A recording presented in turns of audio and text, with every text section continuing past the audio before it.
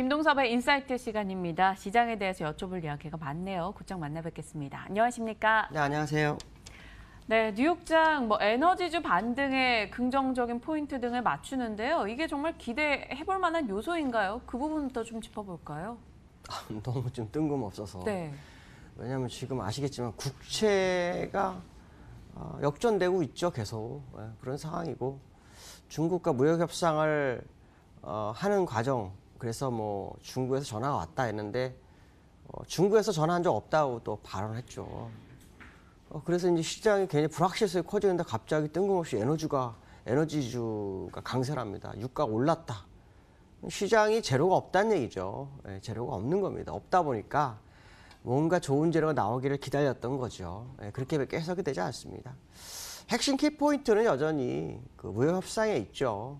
어, 트럼프는 전화가 와서 어, 뭐 개시 가능성을 얘기를 했는데 하루 만에 중국에서 전화한 적 없다. 뭐 이런 발언을 나오는 거 보면 어, 굉장히 그 시장의 뉴스에 민감한 상황인 거고 또 시장이 어, 확실치 않은 재료로 움직이고 있는 상황이다 정도로 해석하시면 될 것 같고요. 어저께 유가가 상승해서 오른 거에 대해서는 좀 특이한 케이스다. 왜냐하면 지금 유가 쪽에 포인트가 맞춰지는 자리는 아니거든요. 유가라는 것은 이제 포인트 맞춰지는 것은 다른 거 없습니다. 이란의 제재 뭐 이런 건데 어, 그런 거 아니라면 사실 이 유가가 오르는 거에 대해서 우리가 100% 뭔가 신뢰해야 될 뭐 그런 자리는 아닌 것 같다라고 판단할 수 있고 있고요. 어, 기술적 분석상에 보면은 뭐 여전히 변화는 하나도 없어요. 어, 상승과 하락을 반복을 하고 있는데 어, 상승 때 좀 더 오르고 하락 때 에, 소폭 하락하면서 이 주봉의 candle은 양봉을 좀 크게 만드는 건 사실이에요. 그러나 분명한 것은 어, 이 음운, 이 음운 상단에서의 조정이 시작이 됐고 두 개의 캔들을 아직 가름하지 못하고 있는 것은 사실이다라고 판단을 해야겠죠. 자, 이런 부분들을 본다면 어, 일단 미국장이 완벽하게 반등에 성공한 거다라고 보기에는 좀 어려울 것 같고요. 특징이 있다면 이제 60주선에서의 지지력 테스트가 약 4주간 진행이 됐다는 거 이게 굉장히 특징이죠. 근데 과거에서 보면 60주선이 의미가 없었어요. 어, 의미가 없었어요. 뭐 그래도 이탈했다 올라왔죠. 근데 이번에는 굉장한 의미를 부여하려고 하는 모습을 보이고 있거든요. 근데 아직 5주선을 돌파하지 못했습니다. 그러니까 이런 부분을 본다면 이게 진짜인지 아니면은 페이크인지는 좀 지켜봐야겠죠. 어, 왜냐하면 어저께 상승은 우리가 생각했던 방향과 전혀 상관없는 상승이었다.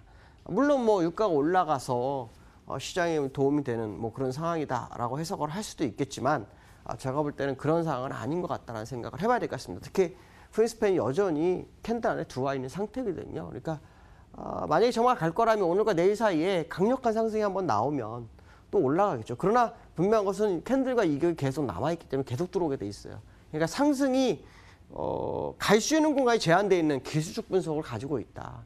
또 그 안에 fundamental 구조상으로 보면 해결된 건 거의 없다. 뭐 이런 부분을 해석할 수 있죠. 특히 어, 금리 인하를 주장했던 트럼프 거기에 대해서 연준이 어, 이때까지 그런 말 잘 안 했었는데 독립성 얘기가 나옵니다.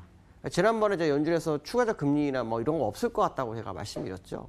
왜냐하면 연준 의원들이 미리 총재들이 미리 발언을 해버렸기 때문에 항상 그걸 따라갑니다. 근데 지금 보면은 어, 미국에서 재료가 없다라는 것은 거의 확실하고 없는 과정 속에서 어, 유가의 상승이 에너지주를 자극했고 그 주가를 끌어올린 정도가 어, 팩트 정도로 보시면 될 것 같고 결론적으로 말 기술적으로는 변함이 전혀 없다라는 생각을 계속 갖고 있는 게 좋겠다 라는 말씀을 드리고 싶습니다. 결국 리스크 관리는 유효한 상황이 아니냐 뭐 이런 생각을 해볼 수 있겠죠. 아, 두 번째는 이제 UBS를 좀 얘기해 볼까 합니다. UBS가 글로벌 시장에 투자하는 금액 혹시 아시는 분들이 있는지 모르겠는데 3천조 정도를 운영합니다. 3천조. 달러로 따르면 2조 4천억 달러. 그러니까 어마어마하죠. 적은 데가 아닙니다.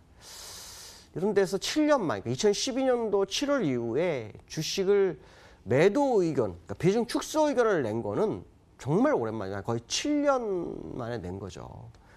어, 의미를 부여하고 싶은 부분이 좀 있습니다. 왜냐하면 거기에 키포인트가 다른 게 아닙니다. 그냥 무역 분쟁에 대한 어떤 경제 침체 뭐 이런 부분인데요.